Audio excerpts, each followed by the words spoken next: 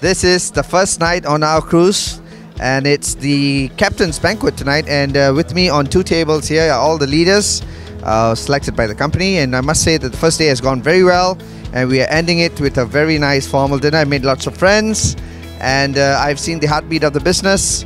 I've met people that are genuinely building this business with a passion. And uh, to all my friends back home, I hope to see you in the next cruise, and I hope I'm there with you celebrating. Thank you. Become a client.